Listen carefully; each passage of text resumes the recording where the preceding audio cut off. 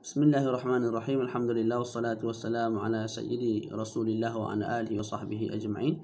Kita sambung muzakarah kitab Matan Al-Muqaddimah Al-Hadramiyah dan telah kita sampai pada perbahasan uh, puasa-puasa yang diharamkan di dalam Islam menurut mazhab Al-Imam Al-Syafi'i. Okey.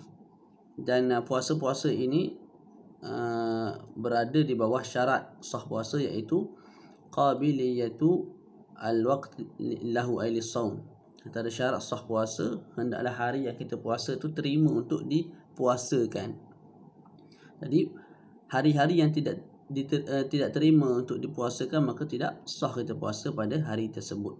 Ha, tidak sah dan juga haram. Tidak sah dan juga haram. Ha, bukan sekadar tidak sah ha, tapi dibenarkan oleh syarak tidak ataupun dibenarkan oleh syarak tapi tidak sah tidak juga dia dua-dua ha? tidak boleh buat ha? kalau buat tidak sah ha? ha? Okey, wala ya wala yasihhu saumu yaumil aidain wa ayyamit tashriq. Tidak sah dan juga tidak harus puasa hari raya sama ada Idul Fitri ataupun Idul Adha. Ini ittifaqan tidak ada khilaf dan haram puasa pada dua hari ini secara mutlakan. Secara mutlakan itu maknanya ialah sama ada kita nak puasa qada pada hari itu, puasa nazar ataupun puasa uh, kafarah ha, dan sebagainya tidak boleh. Ha, kerana wirid ha, juga tidak boleh. Okey. Wa ayyami tashriq juga tidak boleh kita puasa pada ayam at-tashriq hari-hari tashriq iaitu hari ke-11, 12 dan 13 Zulhijjah hari ke-10 Dhul Hijjah hari raya Idul Adha. 11 12 13 kita pergi hari tasyrik juga haram untuk puasa. Ha. walaupun bagi mereka yang buat haji tamattu ha, haji tamattu nak juga mereka tak boleh nak uh, puasa dalam hari ini berbeza dengan pendapat qadi mazhab syafi'i bagi mereka yang buat haji uh, tamattu maka boleh puasa pada tiga hari uh, ayam atau syirik ini iaitu 11 12 13 ha, puasa yang wajib ke atas mereka disebabkan mereka buat haji at-tamattu okey.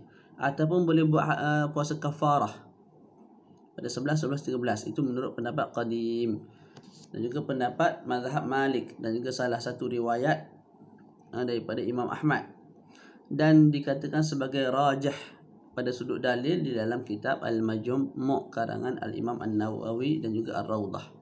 Ha. Ala kulli hal muktamad dalam mazhab tidak boleh puasa. Ha, itu pendapat yang jadi. Wala an-nisfil akhir min Sya'ban juga tidak boleh kita puasa.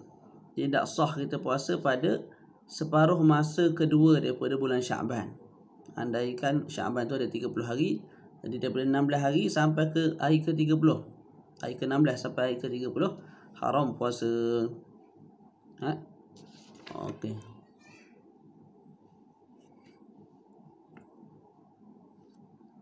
Hmm. Dalam syarah tu disebut wala yaumu yaumish syak. Begitu juga haram puasa pada hari syak. Ha, liqawli Ammar bin Yasir. Man sama yawman syakki faqad asa abal qasim sallallahu alaihi wasallam. Sesiapa yang berpuasa pada hari syak, maka sesungguhnya dia telah membuat maksiat kepada Sayyiduna Nabi alaihi salatu wasallam.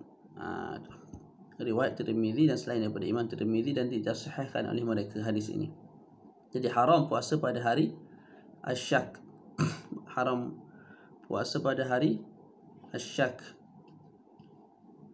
hmm.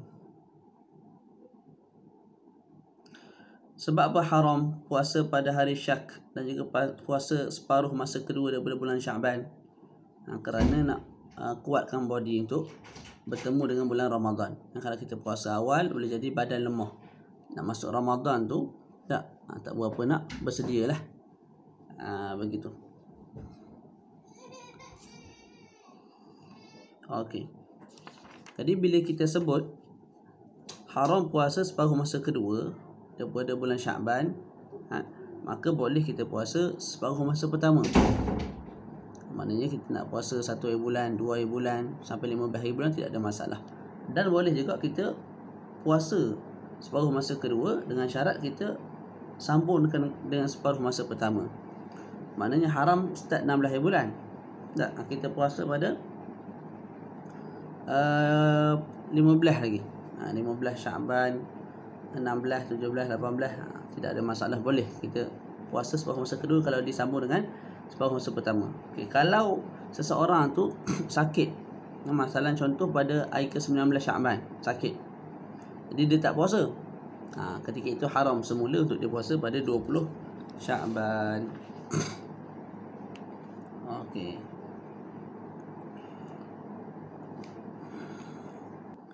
Okey, kita sebut tadi haram puasa hari syak. Apa dia hari syak? Hari syak ialah hari ke-30 daripada bulan Syaban. Kalau ha, manusia uh, bersembang uh, kabar angin uh, sesama mereka yang anak bulan telah dilihat. Ha, tak jadi manusia sesama mereka ada masing-masing membawa kabar angin sesungguhnya anak bulan telah dilihat oleh dua orang dan ke atas. Ha? Tapi tak pasti siapa yang lihat. Tak sabit di sisi qadi. Duduk dengan cerita lagu tu sahaja. Nah, maka malam tu kita panggil hari malam tu malam syak lah. Malam tu malam 30 Syaban, pagi tu dak hari syak. Haram kita puasa pada 30 Syaban itu. Sebab apa? Termasuk bawah hari syak. Ha? Ataupun hari syak juga ialah uh, hari yang di mana malam itu malam hari itu tak ada orang buat penyaksian. Ha, tapi orang yang buat penyaksian tu ialah orang yang ditolak penyaksiannya seperti hamba orang yang fasik. Ha? mereka pergi jumpa qadi mereka buat penyaksian tapi qadi tolak. Sebabkan mereka buat penyaksian tu Mungkin ada dua tiga orang kawan mereka tahu tak, Maka disebarkan dalam whatsapp Disebarkan dalam facebook Disebarkan. Akhir sekali menimbulkan rasa syak eh, Dalam hati kaum muslimin Mengatakan esok itu puasa. Secara tidak yakin eh. Ketika itu Pagi itu Pagi 30 Syaban kita panggil Yaumus syak haram puah, puasa. Okey. Dan uh, dalam kitab kita ni dan kitab yang lain pun samalah dalam bajuri pun ada sebut hukum hakam mengenai yaum syak. Hukum hakam mengenai yaum yaum syak. Kita baca sikit. Hasiluhu. Annahu ma'tiqad sidqil mukhbir tajibul niyyah wa shaum wa yasih. Wa illam yabin kaunuhu min ramadan hukum yang pertama bagi yaum syak ataupun boleh jadi tak dalam sebagai yang musyak lah. Ha, sebab kalau yang musyak jadi haram puasa kat sini wajib puasa. Kalau uh, gambaran pertama eh surah yang pertama uh, okay, kita yakin dengan perkhabaran seorang yang beritahu kita yang dia tu nampak anak bulan. Uh, tak ada seorang bagi tahu kita yang dia tu nampak anak bulan. Dan kita percaya apa yang dia katakan kepada kita. Ketika itu malam tu wajib kita niat untuk puasa esok. Dan wajib kita puasa betul. Dan kalau kita puasa sah puasa kita. Walaupun uh, hari yang kita puasa itu uh, tidak terzahir sampai ke sudah ianya daripada bulan Ramadan. Ianya merupakan satu Ramadan. Kekal puasa kita sah. Jadi yang pertama kita i'tiqad yakin orang yang beritahu kita tu betul. Kawan ni tak menipu aku. Yang dia tu nampak anak bulan. Jadi kita esok puasa wajib puasa wajib niat dan juga sah puasa kita.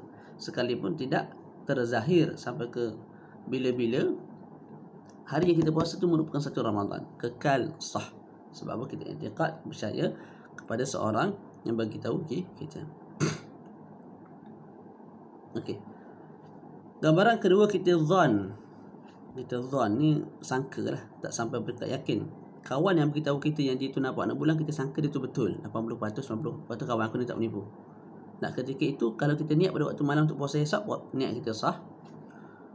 Dan puasa juga sah. Ha, tapi dengan syarat. Ha? puasa kita sah kalau disedari kalau diketahui memang hari yang kita puasa itu satu Ramadan. Ha, satu Ramadan. Kalau tidak disedari hari yang kita puasa itu satu Ramadan maka tidak sah. Eh? Okey, gambaran ketiga kita syak. Esok ni 30 Syaban ke satu Ramadan? Syak. Tidak ada orang bagi tahu kita. Yang uh, apa tu esoknya ialah Ramadan maknanya tidak ada orang beritahu kita yang itu nampak nak bulan tak ada ataupun ada orang beritahu kita cuma kita tak percaya langsung kawan tu ha, dia itu mauthu ke tidak mauthu dan ala kilal halal kita tak percaya dia.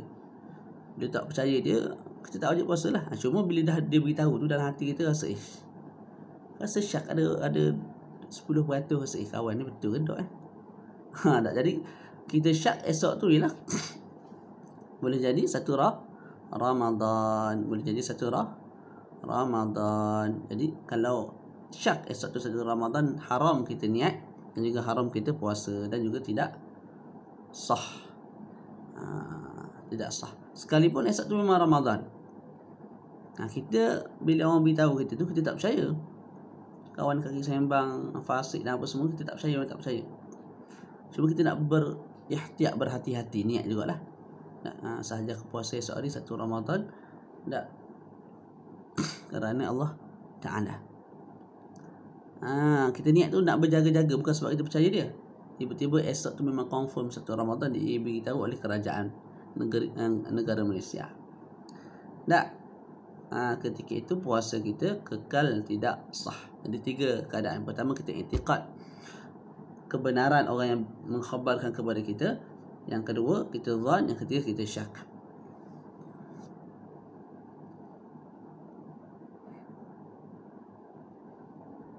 Selesai. Eh? Jadi uh, tidak harus dan juga tidak sah puasa dua hari raya, hari tasyrik separuh masa kedua daripada bulan Syaban illa liwirdin kecuali untuk wirid. Ha, sesiapa yang ada wirid Ilal wirdin ni kembali kepada apa? Kembali kepada separuh masa kedua sahaja daripada bulan Syaban. Ha? Adapun puasa dua hari raya ataupun ayam mutasyrik itu mutlakan tidak boleh. Ha? Sama ada kerana wirid, kerana qada la yajuz. Ha? La yajuz. Tapi separuh masa kedua ni boleh. Kita puasa kalau ada wirid. Wirid ni kebiasaan kita. Kebiasaan dikira dalam bab ni walaupun sekali. Sebelum ni kita pernah puasa dua tahun lepas. Contohlah kita pernah puasa hari Isnin. Tak. Ha, kita nak puasa pula hari Isnin dalam uh, separuh masa kedua bulan Syaban. Ahlan wa sahlan tak ada masalah. Ha, ataupun orang tu dah biasa puasa uh, sehari, lepas tu buka sehari. Puasa sehari, buka sehari. Masuk bulan Syaban dia terus boleh lakukan apa yang dia semua lakukan atau sama puasa hari Isnin, hari Kamis, hari hitam, hari putih ikutlah. Tak. Ha, dia boleh puasa disebabkan ada adat yang pernah dia buat sebelum ini. Okey, aw nadharin ataupun sebab nazar. Nah, ha, cuma kena difahami dengan baik. Nazar sini maksud dia dia bernazar kalau aku dapat keputusan stam, keputusan keputusan SPM dan dapat sekian A, sekian mumtaz maka aku puasa kebetulan separuh masa kedua bulan Syaban dia dapat ha, apa yang dia nak tu. Tak keputusan STAM ataupun keputusan SPM itu. Maka dia pun wajib puasa. Ha, ketika itu sah puasa walaupun dalam separuh masa kedua bulan Syaban. Berbeza kalau orang sengaja. Ha, dia tahari. Apa tahari? Dia sengaja pisah.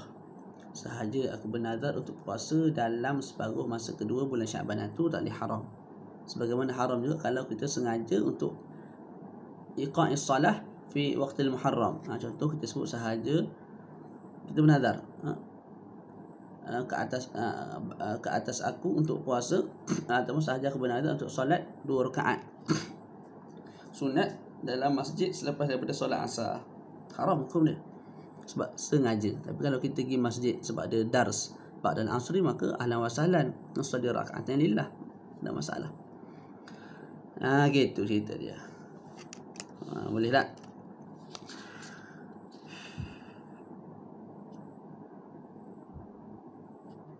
okey. Au qada ataupun qada uh, ibu kita isteri kita mungkin tak qada-qada puasa Ramadan ya, yang ditinggal sebab haid.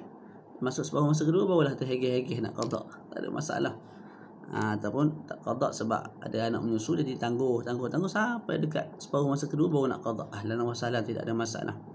Walaupun qada puasa sunat. Puasa sunat yang kita tinggal tak? Ha, yang ada waktu baginya sunat kita qada ha? ha, jadi waktu sebab masa kedua tu kita nak qada boleh tidak ada masalah. Atau kafarah ataupun kerana kafarah boleh? Ha, boleh. Ha, boleh tak? Kafarah. Walaupun pada hari syak. Ha? hmm. sebab hari syak ia termasuk separuh masa kedua. Jadi uh, kita sebut haram puasa separuh masa kedua daripada bulan Syaban kecuali kalau ada wirid, ada nazar, ada qada, ada kafarah. Okey. Walaupun pada hari syak kita boleh qada, kita boleh kafarah, bayar kafarah, puasa kafarah, puasa atas nama wirid atau puasa puasa, puasa nazar boleh tidak ada masalah. Sebab hari syak itu dia termasuk separuh masa kedua. Nah, jadi kalau separuh masa kedua boleh, maka hari syak lebih lagi boleh sebab dia termasuk bawah tu. Awas lima ba'da nisfi bima qablah ataupun sambung puasa selepas uh, Syaban dengan sebelum Syaban yang kita sebut tadi lah. Dah 15 tu start puasa dah. Ataupun 14 Syaban start puasa dah. Jadi 14 Syaban, 15 Syaban, 16, 17, 18 sampai 30 maka tidak ada masalah. Ha, ha.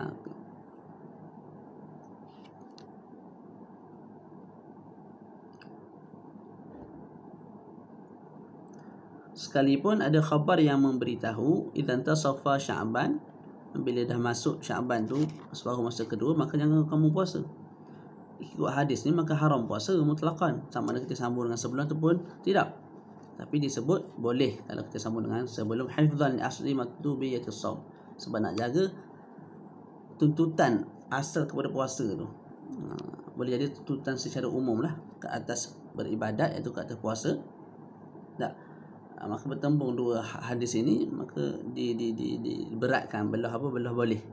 Ha, cuma kalau kita puasa uh, dengan syarat tadi lah iaitu sambung dengan separuh masa pertama dengan yang kedua. Selesai. Boleh tak? Ha tu.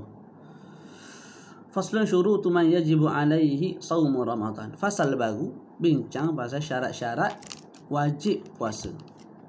Ha, syarat-syarat wajib puasa kita dah selesai syarat sah puasa. Kita dah selesai rukun puasa. Hari ini ataupun kali ini ataupun saat ini kita nak membahaskan tentang syarat-syarat wajib puasa. Maknanya kalau cukup syarat ni barulah seseorang itu wajib puasa. Kalau tidak cukup syarat ini maka tak wajib puasa. Ha, bukan tak boleh puasa tak wajib puasa. Ada kala tak wajib puasa tapi boleh puasa. Ha, contoh anak kita belum balik. Aku umur 13 tahun Contoh belum balik lagi tak? Tak wajib puasa. Nak puasa boleh? Boleh. Dapat pahala, dapat pahala. Lepas tu ayah pula malah ayah wajib suruh tu. Malah wajib pukul pula kalau tak puasa kerana dia mampu. Jadi tidak ada uh, talazum antara wajib puasa dan juga apa tadi? Uh, tak wajib puasa seseorang itu tak, tak wajib puasa tapi tak semestinya tak semestinya dia tidak boleh puasa. Ha, ada kala dia itu tidak wajib puasa tapi boleh puasa dan sah puasanya. Okey, yang pertama al-aqlu wal bulughu wal islamu wal itaqatu wa yu'maru as-sabiyyu bihi li sab'in wa yudrabu ala tarki li 'ashrin in ataqah. ha, begitu cerita dia. Apa cerita dia? Yang pertama ialah al-aqlu ba'akal berakal. Jadi kalau orang gila yang tidak sengaja gilanya ha, memang kurnian Allah, ujian daripada Allah, ha, dia jadi gila maka tak wajib dia puah puasa. Bila tak wajib puasa maka tak perlu qada. Sebab al-qada far'ul wujub. Jadi bila tidak wajib maka tidak adalah faraknya iaitu qada. Wal bulu berakal eh, bulu balik. Jadi kalau budak kecil tak wajib kah qada eh, tak wajib puasa bila tak wajib puasa maka tak wajib qada okey berakal tadi kita sebut yang kita sebut tadi uh, orang gila tak wajib puasa kalau gila tu tak sengaja. Ha, kalau gila sengaja wajib dia qada. Ha, sengaja gila, sengaja mabuk, sengaja pensan, ha, tu wajib qada belaka tu. Wajib qada belaka. Ha, sebab dah berlaku sebab iniqad. Ha, okey selesai.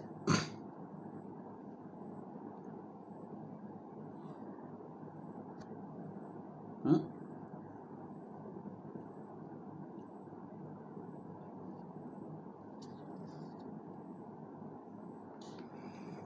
Hmm, sebab al-khitab, khitab as-sawm tu tertuju kepada orang yang mabuk, orang yang pensan, orang yang gila.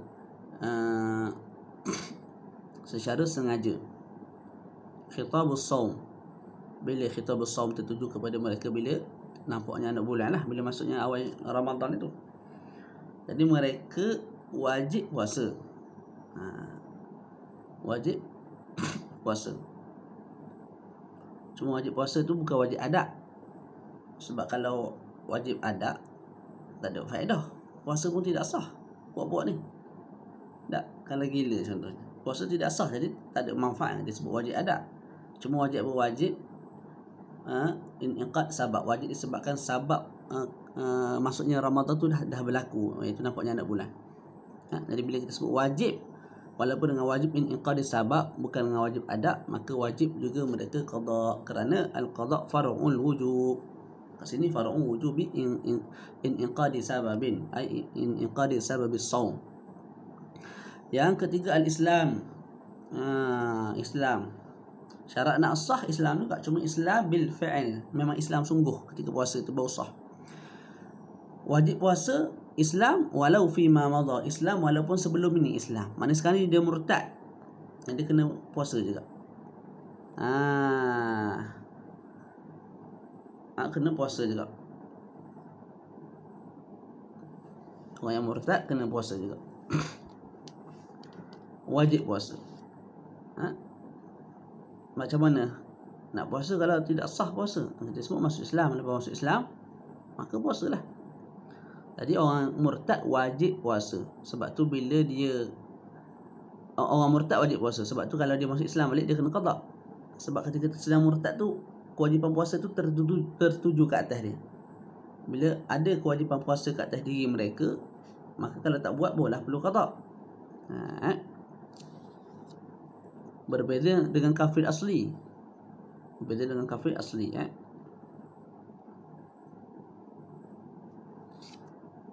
Hmm. Kafir asli kalau masuk Islam tak perlu qada balik puasa tu.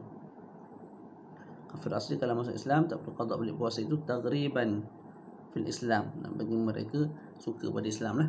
Okey. Baca sikit sini. Naam. Yu'aqabu ala tarkihi fil akhirah nadhiru ma marra fis salah. Ha, benar. Mereka ni kafir asli ni walaupun tidak di walaupun tidak perlu qada bila uh, walaupun tak perlu qada puasa bila mana mereka perlu Islam tapi kalau mereka kekal kufur sampai ke mati mereka akan diazab sebab meninggalkan puasa itu. Hmm, seperti mana kita sebut pada bab as-salah ataupun akan datanglah dalam bab salah. Wa yahrumu it'amu fi nahari Ramadan. Haram kita umat Islam bagi mereka makan pada siang bulan Ramadan. Kita haram jual makanan kepada puak-puak kafir yang asli ini pada siang bulan Ramadan. Li'annahu i'anatun ala ma'siyatin wa illam namna'hu minhu. Kerana itu menolong untuk buat maksiat. Ha, menolong untuk mereka kekal dalam kekufuran dan menolong untuk mereka tak puasa sebab kufur itu. Ha? Sekalipun kita tak boleh larang mana kalau mereka makan kita tak boleh nak rampas makanan tu ha? ha, tapi nak menolong setiap buat nasi tak bagi pula sedekah pada orang kafir ha, tu haram tak boleh Okey, kalau orang kafir asli ni nak puasa boleh tak? Juga tidak sah. Hmm. Kerana, apa tidak sah ketika sedang kufur? Li'anna qadirun ala hibil Islam sebab dia mampu untuk puasa dalam keadaan Islam la wa ma la yatimul wajibu illa bi fahuwa wajibun. Ha, apa-apa perkara yang tidak sempurna apa-apa perkara yang wajib yang tidak sempurna kecuali kita buat satu perkara maka satu perkara itu juga menjadi wajib. Kat sini tak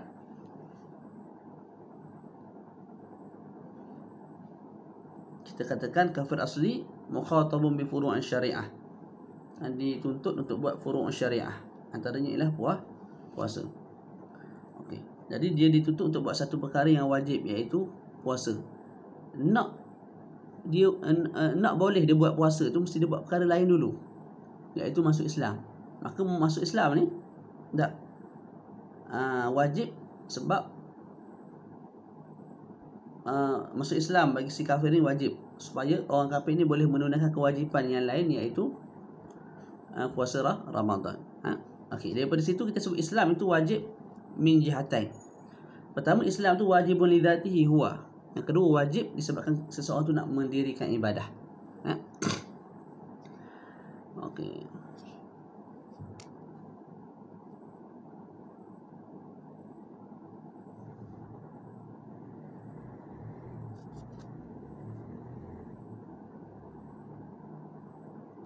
selesai kat situ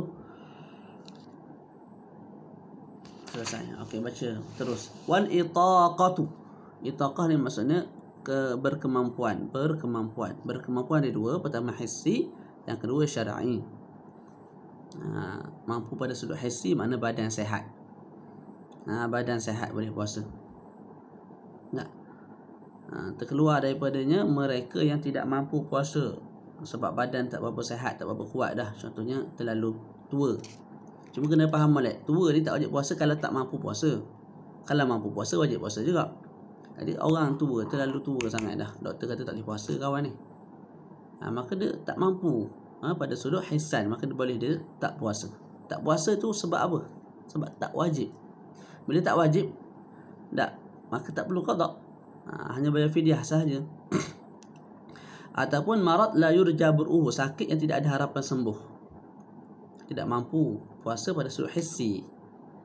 Ha? maka tak wajib puasa perempuan ni. Ha, bukan kita sebut asalnya wajib tak. Lepas tu gugur kewajipan disebabkan sakit tidak. Daripada awal lagi puasa tu tidak wajib kat atas puak ni.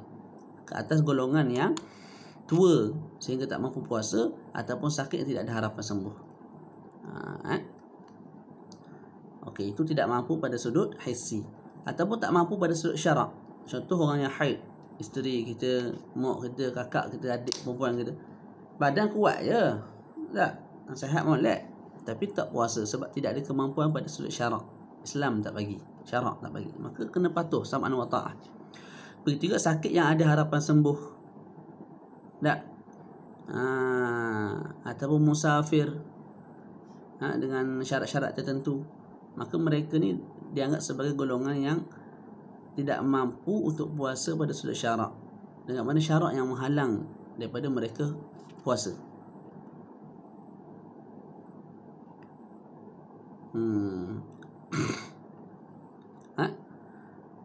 syarak yang menghalang daripada mereka puasa ha. pada sudut badan kesihatan mereka boleh puasa tapi tidak boleh tidak ada kemampuan sebabkan syarat lah larang okey. Syarat lain ha, yang tidak disebut dalam matan tapi disebut dalam syarah ialah wasihatu wal iqamah kena sehat ha, ha? dan juga kena iqamah. Iqamah ni kena bermukim. Ha? itu tak tak ni syarat syarat apa ni? Syarat syarat wajib ah ha, syarat wajib ialah al iqamah walau hukman kena bermukim Contoh kita mukim satu tempat, duduk situ empat hari ke atas, kita bermukim wajib kita puasa. Walaupun bermukim secara hukum. Bermukim ada dua. Pertama, bermukim secara hakikatan, memang kita bermukim sungguh kat situ, tak pergi musafir mana-mana. Ataupun orang tu musafir, tapi kita beri kepada orang musafir tu hukum seorang yang bermukim. Contohnya orang tu musafir daripada jengka nak ha, ke Kelantan untuk buat maksiat. Semata-mata untuk buat maksiat ataupun musafir yang safar yang pendek ah 50 km ah, bawah daripada dua marhalah. Mereka ni dipanggil musafir tapi musafir hukum mereka hukum mukim. Dengan makna kalau seseorang nak buat maksiat, ah, musafir jauh mana sekalipun atas tujuan maksiat kena puasa juga, wajib puasa. Sebab mereka seperti orang yang bermukim. Ha, seperti orang yang bermukim, eh.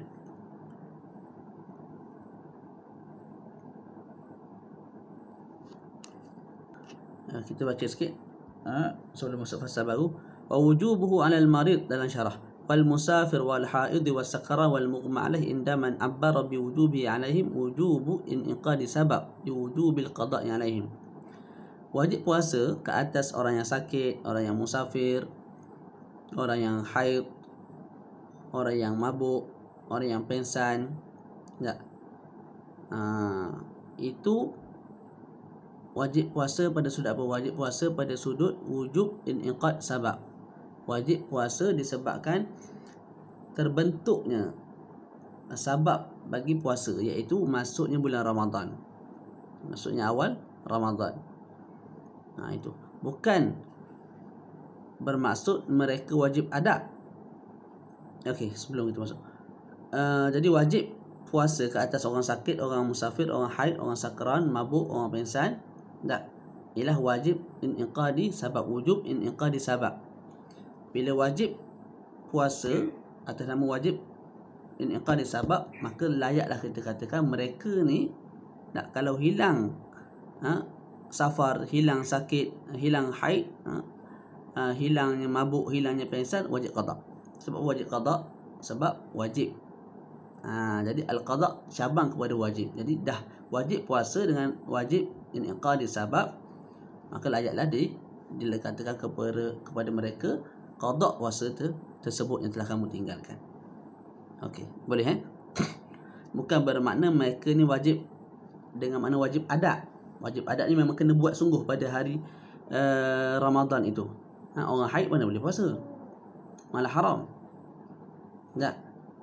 Ha, orang sakit kalau menyebabkan mahzurat tayammum haram puasa ada. Ha, jadi tidak wajib secara adat tapi wajib secara qada. Dan juga wajib wajib secara inqad sebab oleh sebab itu maka wajiblah qadaan. Hmm. Insya-Allah fahamlah tu. Okey, adapun orang murtad ha, mereka ini wajib ada bukan wajib inqad sebab. Ha, ada kalau ada ulama katakan murtad ini wajib puasa wujub in inqad wujubul uh, wujub in inqad sebab maka ulama tu telah tersilap telah terlupa.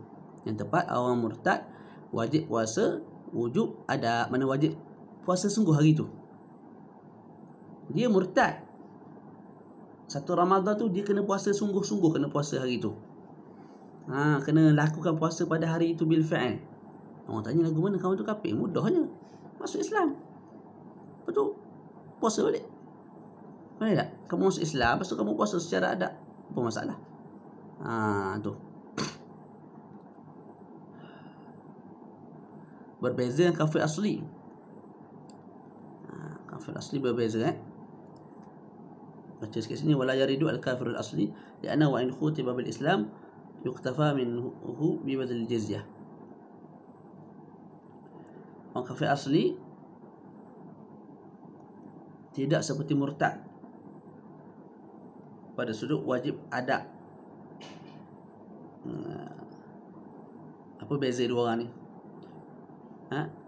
murtad kufur lah kafir asli juga kufur tapi murtad kita wajib kita katakan wajib puasa dengan wajib ada wujub ada orang kafir asli tidak wajib puasa atas nama uh, wujub ada apa bezanya bezanya murtad tak bayar jizyah orang kafir asli bayar jizyah ha, bayar jizyah jizyah Ha? ha? Dan sama uh, sama antara dua ni kafir murtad dituntut untuk masuk Islam kafir asli juga dituntut untuk masuk Islam. Ha? itu persamaan lah. Perbezaan murtad tak bayar fidyah kafir asli bayar fidyah. Okey. Maka bila dia bayar fidyah maka tidak ada khitab untuk dia puasa. Asalatan wala taba'an. Bila tidak ada khitab untuk si kafir asli ni puasa maka tidak ada farak um, um, bila tidak ada khitab uh, kepada kafir asli untuk ini puasa maka tidak adalah uh, cabang kepada khitab saum iaitu al-qada sebab tu kita sebut kafir asli tak wajib qada uh. mana tidak disunatkan qada pun. Uh, kalau qada pun tidak sah maknanya dia kafir 30 tahun masuk Islam.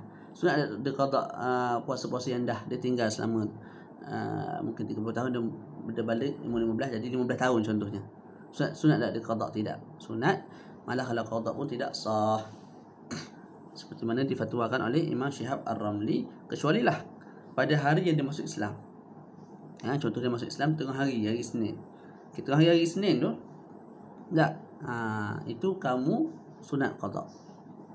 Ha, Maknanya dia masuk Islam pada tengah hari hari Isnin satu Ramadan. Ha, jadi bila masuk Islam pada tengah hari puasa hari itu tak sah lah sebab nak puasa mesti daripada awal subuh. Jadi hari itu tidak dianggap sebagai seorang yang berpuasa si kafir tu yang telah masuk Islam. Kita sebut qada dia uh, sunat dia qada uh, bila mana dia dah masuk Islam. Uh, mana lepas uh, uh, satu Syawal tu sunat qada eh. hmm. Wa yu'maru as-sabiyyu bihi li sab'in wa yudrabu ala tarki li ashrin in, in. Okay, disuruh secara wajib budak kecil yang cukup ha?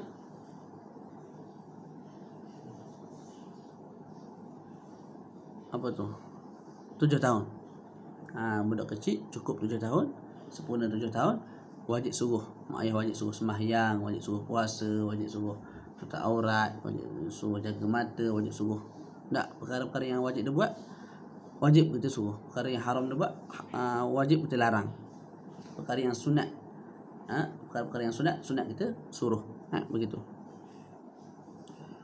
Wa yudrabu ala tarki di ashrin. Okay, bila dah masuk 10 tahun, 10 tahun ni khilaf sama ada pertengahan 10 tahun, mana ketika nak sempurnakan 10 tahun ataupun dah sempurna 10 tahun dia khilaf ha? Sebahagian kata bila dah sempurna boleh bila dah sempurna 10 tahun uh, penuh boleh dipukul kalau tinggal puasa kalau dia mampu.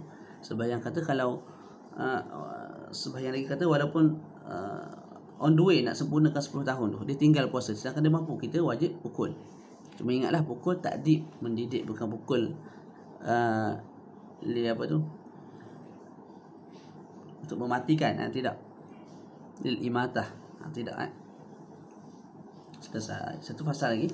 Insyaallah. Satu fasal lagi insyaallah. Mudah. Faslun fi ma yubihul fitr.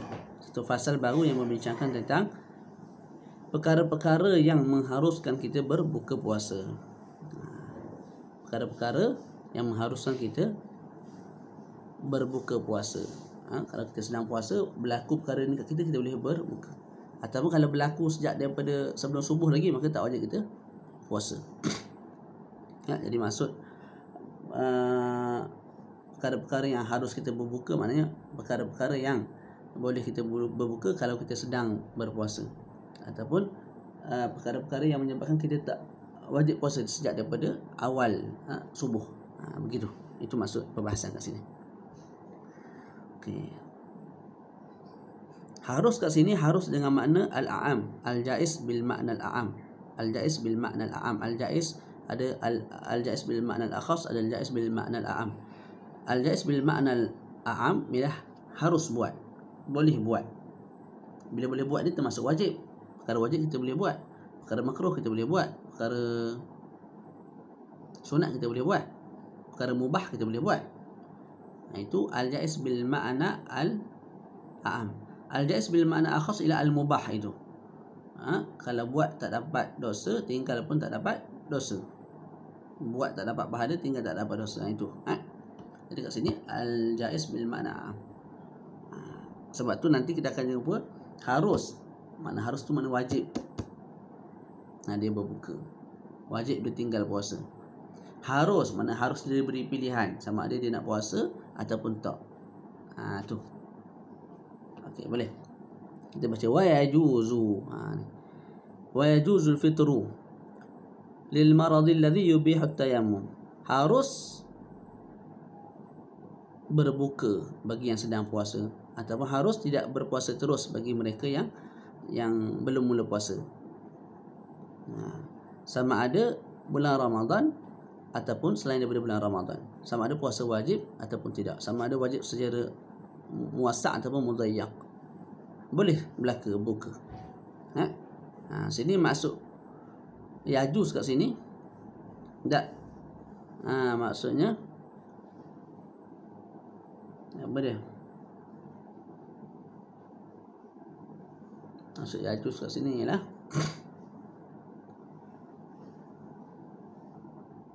Ha, maksud Yajus kat sini ialah uh, wajib di sisi Imam Ibn Hajar. Imam Ibn Hajar sebut kalau uh, puasa itu menyebabkan berlakunya mahzurun min mahzuri tayammum maka wajib dia berbuka tak boleh puasa. Maka Yajus dengan mana wajib. Di sisi Imam Ibn Hajar.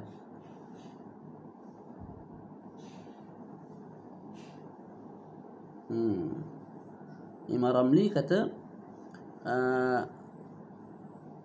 kalau seseorang itu puasa dan menyebabkan mahzur min mahzur tayammum maka dia boleh berbuka. Dia nak puasa pun tidak ada masalah. Kecuali satu keadaan. Kalau puasa menyebabkan kematian, ketika itu wajib berpuasa.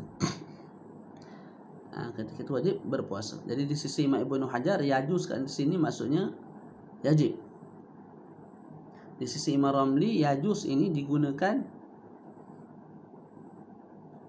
ha, atas dua makna. Pertama harus, yang kedua wajib. Ha, wajib kalau kita tengok yang kedua iaitu walil khaifi min halak. Walil khaifi min halak. Ha, takut berlakunya kematian. Ketika itu Imam Ramli sebut wajib puasa. Wajib wajib berbuka lah. Ha, tapi kalau sekadar berlaku mahzur min mahzur tayammum yang lain maka tidak tidak wajib dia berbuka malah dia beri pilihan sama ada nak puasa ataupun tidak. Selesai. Yajuzul fitru lil marad alladhi yubihu tayammum harus berbuka kalau berlaku perkara-perkara yang mengharuskan seseorang itu bertayamum. Ha, apa? Ini dalam safinah kita sebut dah. Mahzurat tayammum ataupun kita panggil mubihat tayammum perkara-perkara yang menyebabkan kita boleh berpindah daripada guna air kepada guna debu. Ha, dan bertayamum. Apa dia perkara itu? Ha? Contohnya ha, uh, menyebabkan kematian ataupun uh, kalau kita guna air menyebabkan sakit makin bertambah ataupun sakit tak makin bertambah cuma tempoh sembuh makin bertambah sepatutnya uh, seminggu kalau kita kalau kita puasa kalau kita guna air menyebabkan sakit tu 3 4 minggu baru sembuh ataupun menyebabkan uh, terzahirnya uh, kesan yang buruk uh, pada anggota yang zahir. Ha itulah mahdurat yang kena ingat tu. Okey. Sekali pun Imam Imam Ibn Hajar sebut, sekali pun sengaja kawan itu makan satu perkara yang menyebabkan dia sakit. Ha tu dia makan satu satu ubat ke apa ataupun dia ambil tukul ketuk atas kepala dia ikutlah akhirnya kawan tu sakit tak boleh puasa kalau puasa juga menyebabkan kematian menyebabkan uh, uh, hilang manfaat anggota badan tak Imam Imam Ibn Hajar kata tak ada masalah tak puasa kawan tu malah wajib uh, wajib tak puasa di sisi Ibn Hajar eh? ah. sebab apa li'annahu la yunsabu ilaih sebab sakit itu tidak dinisbahkan kepada dia. Mana dia bukan buat sakit.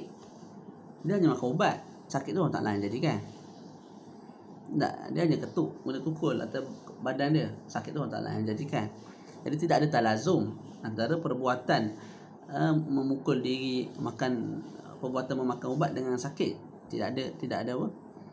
Tidak ada uh, talazum yang berbentuk akli ada talazum adi mana boleh berpisah ada ada kalau orang makan ubat batuk ubat tidur tak tidur tidur pun tak batuk-batuk pun uh, ataupun tak sakit pun badan dia makan ubat yang menyebabkan badan dia rosak tak tak rosak-rosak badan jadi tidak ada talazum jadi kalau dia buat satu perkara yang menyebabkan dia akan jadi sakit kekal dia boleh berbuka sebab sakit tu bukan dia buat Allah Ta'ala yang cipta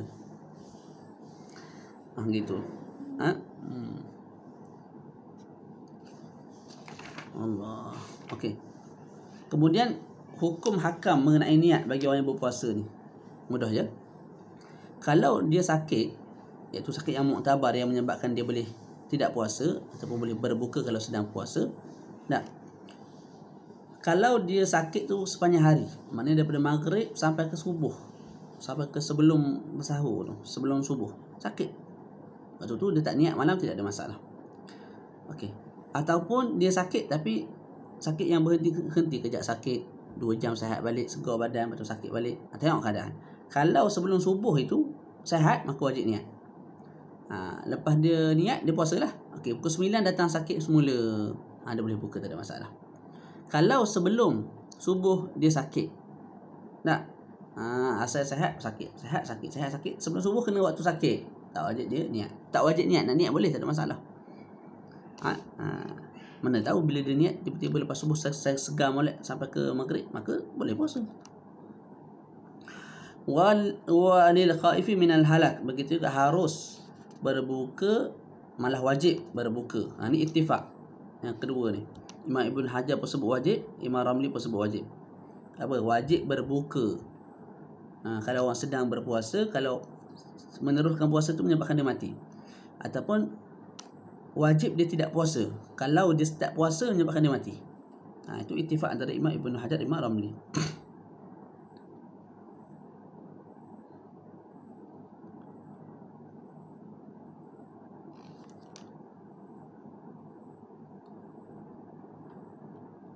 Cuma kat sini maksud halak ni bukan mati sajalah. Sama ada uh, hilang nyawa iaitu mati ataupun hilang manfaat tubuh badan. Hilang manfaat tubuh badan. Sama ada uh,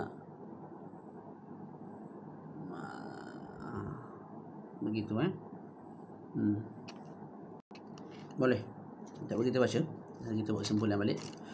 Ha, okey macam ada kekeliruan sikit eh tak apa baca wali ghabat wali ghalabatil ju' awil atash ha, terlampau uh, dahaga terlampau lapar. Ha, tapi dengan syarat bi haitsu yakhafu min as-sawm ahadihima mubih hatta yam kita lapar sangat sedang puasa. Lapar sangat sedang puasa tak? Lapar sangat atau berdahaga sangat sedang berpuasa.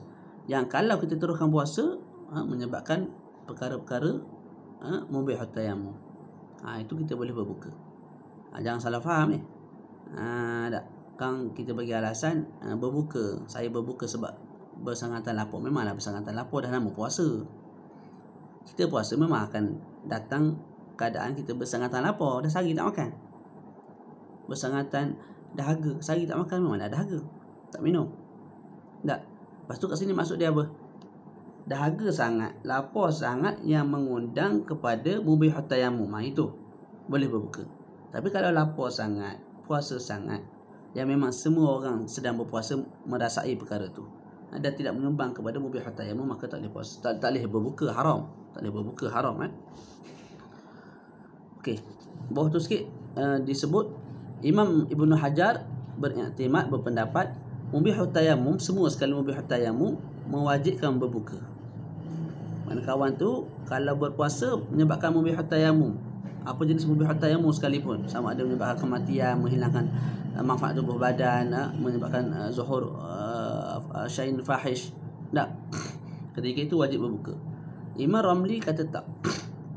Yang wajib berbuka hanya puasa yang menyebabkan halak. Sama ada halak jiwa ataupun halak manfaat badan ketika itu wajib berbuka. Tapi selain daripada itu, contohnya terzahirnya kesan buruk ha, pada anggota yang zahir dan ataupun menyebabkan makin lambat sembuh ataupun makin sakit. Ha. Ketika itu Imam Ramli kata harus tidak berbuka boleh tapi bagi aku tak wajib. Berbeza dengan Ibnu Hajar kata wajib belaka. Wajib wajib buka belaka bila puasa menyebabkan salah satu daripada mubih at-tayammum. Hmm. Maksud disebut uh, hukum hakam mengenai apa tu? Uh, orang yang kerja berat itu kita dah sebut dalam matan safinah. Uh, boleh baca lah. Ha? Boleh-boleh dengar matan safinah. Ha? Jadi dah lima enam syarat. Okay. Kalau nak berbuka bagi orang yang kerja berat. Eh, eh, uh, walil musafir safaran tawil al mubahan. Harus juga berbuka bagi orang yang musafir. Ha, safir yang macam mana? Safir yang panjang iaitu dua marhalah 89 km ke atas. Dan mubah harus. Uh, harus ini dengan makna aam lah. Uh, safar yang wajib ke safar yang hak memang mubah ke safar yang uh, sunat ke safar yang makruh sekalipun tak. Maka boleh berbuka. Kalau safar itu safar yang tawil dengan mubah. Ha? illa in tara'a ba'da al-fajr melainkan kalau safar itu datang selepas daripada fajar. Maknanya lepas azan subuh baru kita bergerak daripada rumah kita. Tak. Ataupun kita bergerak daripada rumah sebelum subuh tapi sebelum keluar daripada kawasan kita azan subuh telah di telah di di ke uh, di ke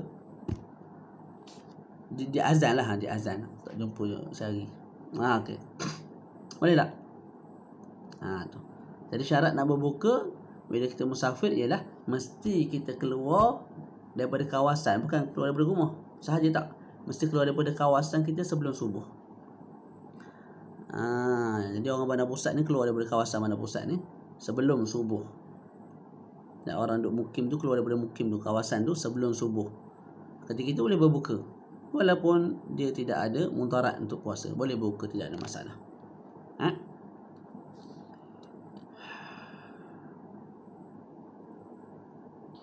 Ha, puasa ni lain sikit hukum dia tak? Berbeza qasar. Kita nak semayang qasar dua rakaat.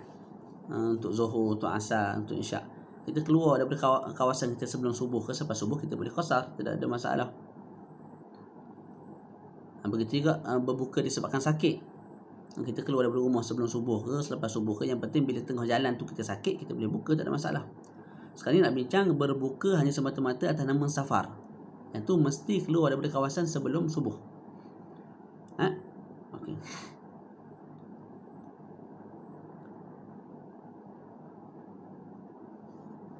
Okey, kalau seseorang itu syak. Ha, dia dah keluar daripada kawasan dia. Tapi dia syak. Eh. Aku keluar kawasan tadi dah azan subuh ke masih belum subuh? Tak, ha, ketika itu tak boleh juga dia nak berbuka sebab ada syak pada perkara yang mengharuskan berbuka. Apa perkara yang mengharuskan berbuka? Mesti keluar daripada kawasan sebelum subuh. Dia syak. Aku, aku keluar daripada kawasan sebelum subuh ke selepas subuh? Ah, tak. Jadi dia syak pada perkara yang mengharuskan dia berbuka maka tak boleh dia berbuka. Okey. Wa tajibu niyyat tarakhus inal fitri ala musafir wa marid yurja bur'uhu wa man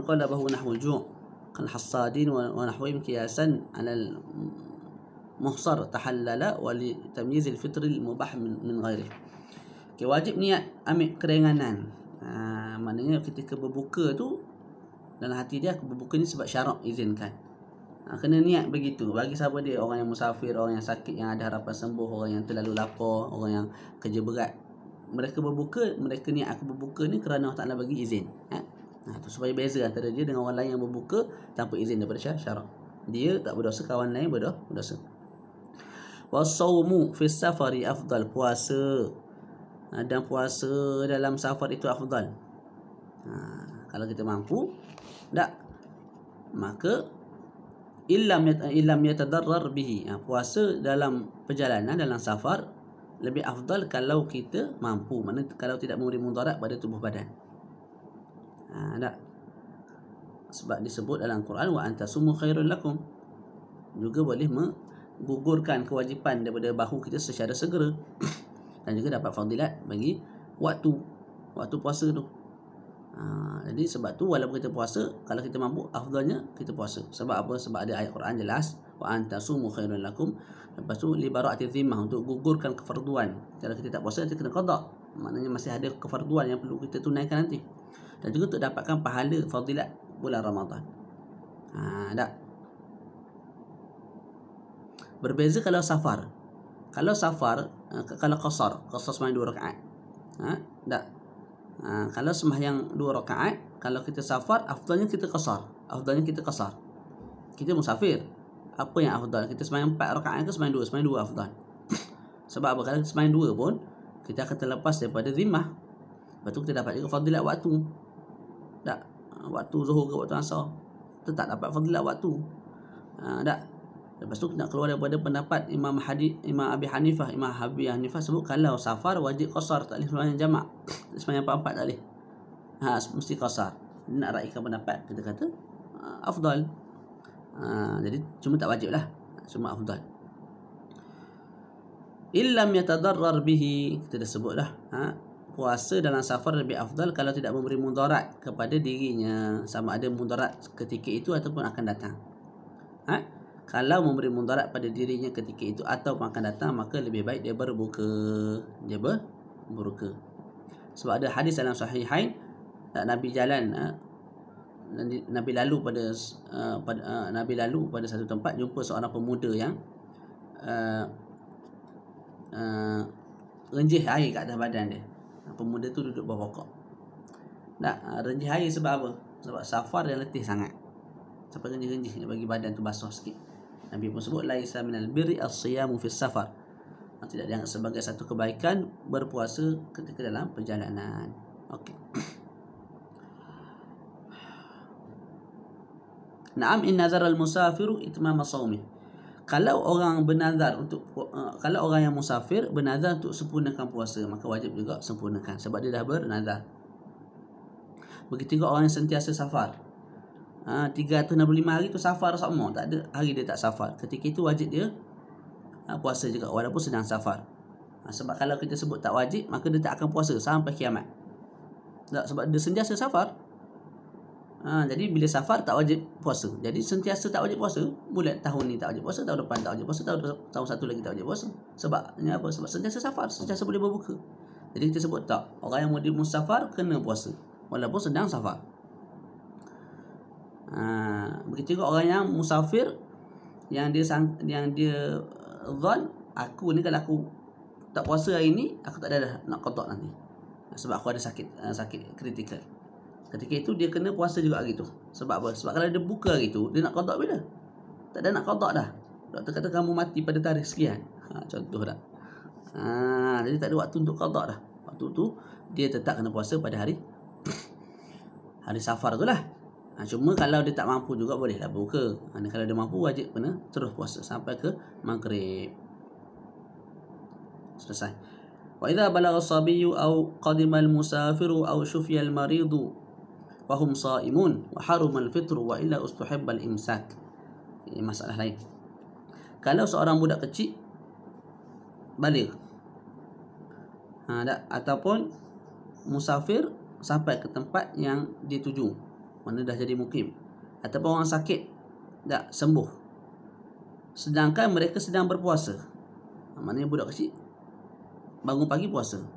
Tengah hari dia balik tak, orang musafir dalam perjalanan puasa sampai ke destinasi yang keadaan kekal puasa. Orang sakit sedang berpuasa. Lepas tu sembuh. Puak-puak ni wajib dia teruskan puasa. ha, wajib dia teruskan puasa. Ha, dia tak boleh berbuka. Dia pagi puasa, tengah ni dia balik. Petang tu dia nak buka, tak boleh. Bila dah balik wajib teruskan sampai ke maghrib. Ha, kamu dalam perjalanan kamu tak buka. Nak puasa juga. Okay, bila dah sampai ke tempat kamu, destinasi kamu dah jadi mukim, tak, kamu kena puasa sampai maghrib juga. Kalau tak boleh buka. Kalau buka, uh, haram. Kalau buka dengan jima, wajib kafarah. Wa illa ustuhibba lahumul imsak. Ha, kalau mereka tak balik dalam keadaan sedang berbuka, mana tak puasa. Ataupun orang yang musafir ha, sampai ke destinasi keadaan dah berbuka dah. Ha, ataupun orang sakit tadi sampai ke, ke uh, orang yang sakit tadi dah sembuh keadaan dia tu memang tak puasa dia dah makan bagi tadi. Tak, ketika itu sunat mereka imsak. Apa imsak? Menahan diri daripada melakukan perkara-perkara yang membatalkan puasa, menahan diri daripada perkara-perkara yang makruh ha, ketika mana puasa. Itu maksud imsak. Ha, ha tu. Ada sunat imsak lah. Ha, begitu juga sunat imsak bagi perempuan yang suci daripada haid. Baki hari itu sunat dia jangan makan, jangan minum, jangan jangan buat perkara-perkara yang membatalkan puasa perkara-perkara yang makruh bagi orang puasa. Begitu juga orang yang sedar daripada uh, gila pada tengah hari bulan Ramadan orang masuk Islam pada tengah hari bulan Ramadan sunat mereka imsak li hurmatil waqti. Uh, wa kullu man aftara li udhrin aw ghairihi wajaba alaihi al-qada. Okey. Uh, dalam bab ni ada satu kaedah eh? uh, kalau ingat kita dah baca dalam uh, matan uh, safinah dikatakan Uh, mana-mana golongan yang uh, kami wajibkan mereka puasa kami maknanya syarak kami wajibkan bagi mereka puasa maka wajib mereka imsak golongan-golongan yang kami sunatkan bagi mereka puasa maka sunat mereka imsak ha? Ha, contoh budak kecil sunat puasa tak jadi kalau mereka dah buka dah budak kecil dah buka dah tak tiba-tiba balik sunat saja imsak sebab asalnya bila dia kecil dia dia hanya sunat puasa tak wajib. Tapi kalau contoh orang Ah baca tu lah. Nak fikir. Buat fikir tak ni? Buat bebas ni. Wa kullu man aftara li udhrin aw ghairi wajib alaihi qada. Setiap orang yang berbuka tidak puasa sebabkan uzur ataupun tidak uzur wajib qada. Itu itu makruf sangat sangat sangat dah. Ha? Hmm. Walau bi yaumin qasir an tawil. Walaupun hari dia tak puasa tu panjang, puasanya 12 jam. Hari dia qada ha, siang hanya 7 jam. Tak ada masalah sah. Memadai. Hmm? Okey.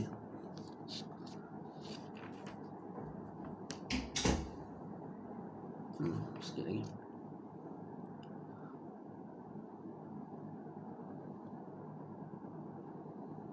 Ha, apa tadi? Wa kullu man aftara li udhrin aw ghairi wajib alaihi. Okay.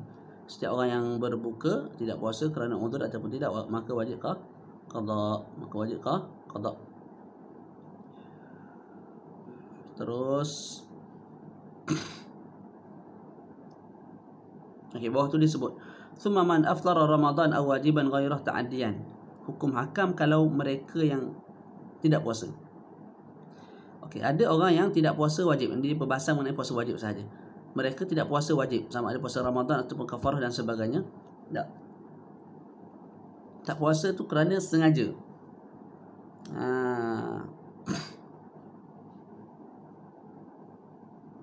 secara sengaja. Contoh Zaidun. Zaid. Zaid dia tak puasa siang bulan Ramadan. Ha? pada hari pertama Ramadan dia tak puasa.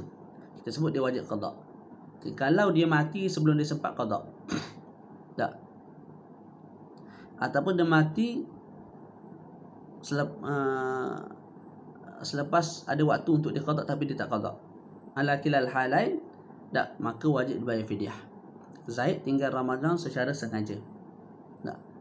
Masuk Syawal dia sempat qada tapi dia tak qada. Ha, akhir Syawal dia mati. Ataupun dia mati pada dua Syawal jadi, tak sempat nak qada lah mati dua Syawal. Satu Syawal tak boleh nak qada sebab uh, haram puasa hari hari raya. Tak. Ketika itu kita sebut wajib juga dia bayar fidyah. Wajib dia bayar fidyah bagi pihak dia keluar daripada duit ni lah. Duit apa? Duit-duit pusaka dia. Ha? Okey. Itu yang pertama. Yang kedua, mereka yang berbuka puasa dengan uzur. Sebab uzur. Contohnya sakit, ah, haid, ah, lupa niat dan sebagainya. Itu kita sebut kalau mereka ni mati sebelum uh, sebelum apa? Sebelum sempat qada. Contohnya mereka tinggal puasa secara uzur, dua Syawal dah mati jadi tak sempat nak qada. Ketika itu tak wajib bayar fidyah. Tapi kalau mati selepas ada waktu untuk qada, mana dia mereka mati selepas 3 bulan daripada uh, satu Syawal. Mana ada sempat ada waktu untuk qada lah tapi mereka tak qada. Nak tangguh nak tangguh nak tangguh mati. Wajib mereka bayar fi fidyah.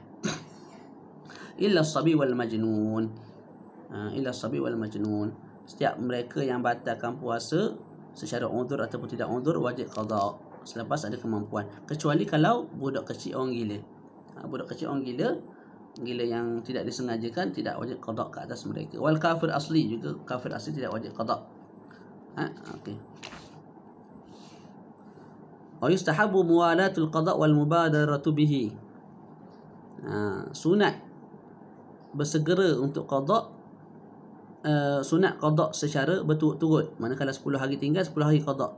Direct daripada hari pertama sampai hari ke-10 dan juga segera maknanya dua syawal tu dah start qada dah.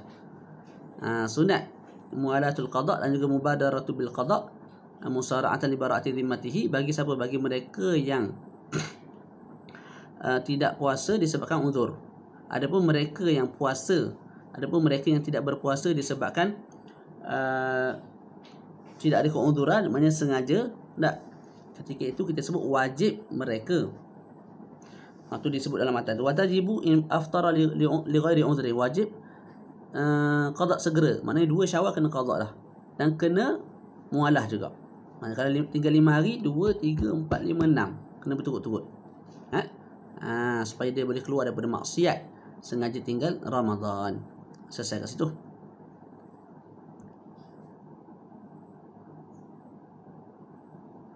Okey. قال في الإمداد وفي هذه الحالة يلزمه القضاء ولو في السفر ونحوه إذ التخفيف إذ التخفيف بالتأخير لا يليق بالمتعدي Okey, Zaid tinggal puasa 10 hari secara sengaja. Kita sebut wajib dia qada segera. Dua Syawal kena qada dan dua sampai ke hari ke-11. Kena betul-betul. Walaupun tak dia sedang safar. Ha, contohnya dua hari bulan tu dia balik kampung ke mana. Walaupun dalam perjalanan wajib dia qada segera. Ha, dia tak boleh bagi lasan ayah ini tak nak qada lagi lah. Puasa yang aku tinggal dengan sengaja sebab aku safar. Tak boleh. Kena qada juga. Sebab keringanan bagi pihak musafir untuk tidak puasa tak uh, tidak boleh dicapai dengan maksiat. Uh, Zaid buat maksiat iaitu tinggal puasa secara Ramadan tiba-tiba nak ambil keringanan daripada syarak maka tidak boleh. Al ar-rukhasu la tunatu bil ma'asi. Itu kaedah fiqhiyah. Wa yajibul imsaku fi Ramadan ala tarik niyah wajib imsak dalam bulan Ramadan sahaja. Bulan lain tidak wajib imsak. Ha? Sebab apa wajib imsak pada bulan Ramadan? Nak menghormati waktu dan juga nak menyerupai diri dengan orang yang berpuasa. Nah, tak. Wajib imsak pada Ramadan. Ala tarikin niyah bagi orang yang sengaja tinggal niat pada malam hari. Ataupun uh, tidak sengaja tinggal niat pada malam hari terlupa juga wajib imsak. Juga wajib imsak. Sebab walaupun terlupa, tak ada taksir dari diri dia. Takkan sampai puasa pun kamu lupa ibadat. Itu tunjuk kamu ni tak ambil berat tentang ibadat. Jadi kamu wajib juga imsak. Tidak sunat malah wajib imsak ha? Begitu juga orang yang makan ha? Dekat-dekat nak buka dia makan. Dia sangka dengan setakat yang berat dah Masuk waktu. Tiba-tiba sedar-sedar belum masuk waktu Wajib imsak walaupun baki 5 minit lagi nak masuk uh, Apa tu Maghrib yang sebenar. Walau muta'andi bifitrih juga wajib Imsak bagi orang yang berbuka puasa secara sengaja. Tidak ada undur. Wa fi yaumi syak in tabayyana kaunuhu min ramadan. Juga hari syak. Tak hari syak haram puasa.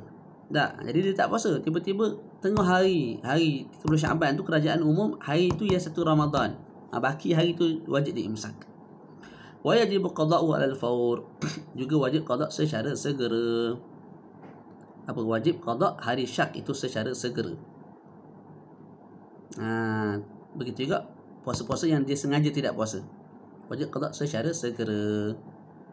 Ha, jadi hari syak ni tak kalau ikutnya tidak uh, kalau secara zahir tengok tak ada tak ada apa tak ada munasabah lah suruh puasa atau qada secara segera sebab bukan salah dia. Tapi syarak kata ada taksir dari pihak kamu. Orang lain boleh tahu itu Ramadan. Macam mana kamu tak tahu itu Ramadan dan kamu anggap itu hari syak? Maka ada taksir daripada, daripada kamu kamu tak lihat anak bulan.